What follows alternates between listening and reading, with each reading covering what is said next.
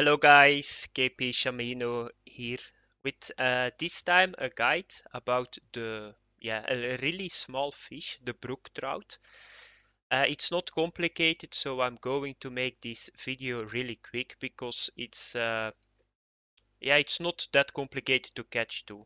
So first of all, I'm going to show you guys the area where I got two spots and that's on the lighthouse. But I discovered something about the brook, trout and that's with my own testing.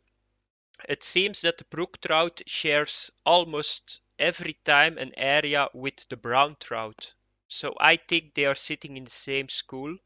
So only the brook trout is yeah a lot smaller than the brown trout so it's only one kilogram and a normal brown trout is around two kilograms so that's the half but so what i'm going to show you guys is the brook trout his area and most of the time you are going to get brown trouts there too so i'm going to show you guys now the area in the lighthouse so if you come to the lighthouse uh, you got two positions that I saw that was really good for the brook trout and for the brown trout too. So you just come here at the edge of the rocks and then you need to throw towards this boat. Okay, and the area that the trout is sitting is like around 50 meters. I got one at 50 meters, 55 meters, 48 meters, all brook trout. So that means around 50 meters, I think there is like uh, an environment under the water, and there is the trout sitting. And if you throw on that position, you will get brown trout and you will get brook trout. So most of the time it's going to be brook trout because you are fishing with really small hook on them too. So you're going to get a lot of them. I got, I think, 10 and I fished for two uh, hours in game, so it's not complicated. The other spot is, and some guys already know that's on my uni smallmouth bass, is here at the left buoy. And at the 48 meter point, you got uh, like the trout area is over there, and there you get the brook trout too. So you just need to throw, let's say it's almost the same meters, let's say 55 to 45 meters.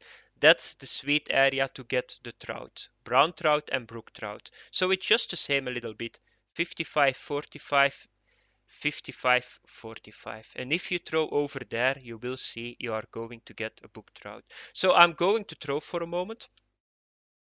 So let's go here to the edge and let's throw towards the boat. So normally I can make with this setup, I think 60 meters. So let's have a look. Maybe I can catch one. I'm not sure. So the technique that I'm using is uh, stop and go. It works really well here and you don't need to be afraid to get snagged because the spinner, it's with a spinner 4 gram 1.0 hook. It's really not that heavy. So it's not problematic that you're going to get a lot of snags. I didn't have a lot of snags. So just reel three times, just do a little strike, wait a little bit, three times. And now I'm getting in the sweet zone, 55 meters. Let's check that we can maybe get one in the movie.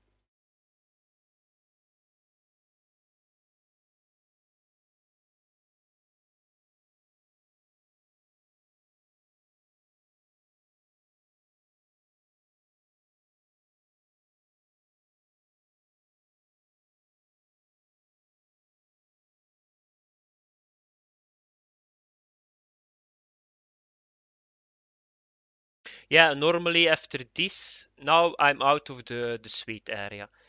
So now it's possible that you get walleye, that you get uh, smallmouth bass. Perch I didn't get with this setup, but it's not the hour of perch. Yeah, here is a fish, and I guess uh, it's going to be walleye or smallmouth bass because I was out of the sweet area. I don't think this is a brook trout. No, it's a smallmouth bass, like I said. So it's really important that you are in the area.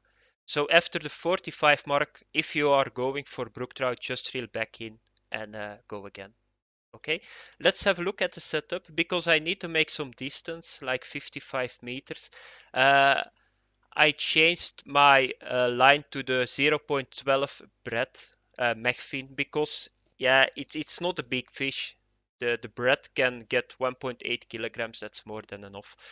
Uh, I'm using the Tora 290, my Fatboy Spin 5000, but that's just the same setup. You can, of course, use lower uh, equipment here because it's a small fish. And this is very important.